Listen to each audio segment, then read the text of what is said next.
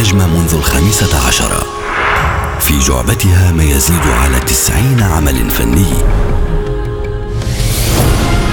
أبدعت في الدراما التلفزيونية والمسرحية والسينمائية. لما بدأت الفن سندوا لي دور الأم وأطلقوا علي من عمري 15 سنة سموني أم المسرح.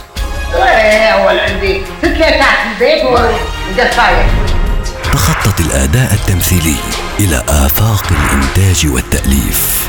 فعرفت أقرأ وأكتب من من أخوي ومن صديقتي جارتي اللي هي بسني تروح المدرسة. رصيدها من الجوائز تجاوز العشرين والعدد في ارتفاع. أنا عندي فكرة والفكرة تظل فكرة على الورق لغاية ما حد ينفذ ضيفة دائمة على مهرجانات العالم العربي. لها بصمتها ويدها البيضاء في الدراما الخليجية. هي الملكة غير المتوجة. الوالدة الله يرحمها كانت تقول حياة لما تبكي تكسر قلبك. وسيدة الشاشة الخليجية دون منازع. دون منازع